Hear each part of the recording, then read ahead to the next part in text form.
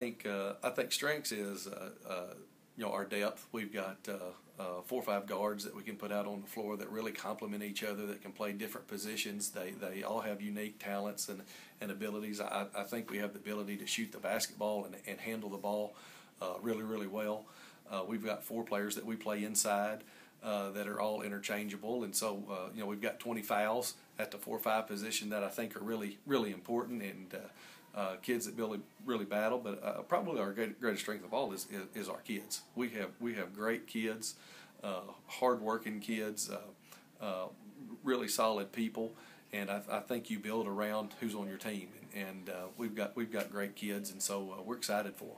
How do you feel like uh, Siler has has come from a year ago, coming off that injury a year ago? She is night and day different than she was uh, a year ago. She's set up for a phenomenal season. She's got her legs back under her. She's uh, uh, pain free for the first time in a year.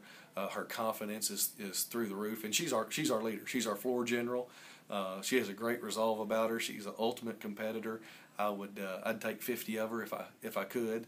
but we we love her to death, and she's she's going to have an outstanding season. You talked about having four or five at at the uh, in the on the post position. Mm-hmm. Uh, you feel like that where where are you going to get some scoring and, and, some rebounding there with a lack of size. Yeah, with, with, well, you know, our most experienced player back is Haley Tiles, and uh, she's our leading scorer from a year ago. And uh, uh, you know, Haley's a slashing type kid. She's she's really strong, can can finish at the rim, and and uh, uh, you know, take some hits and stuff. And so uh, we're gonna count on her.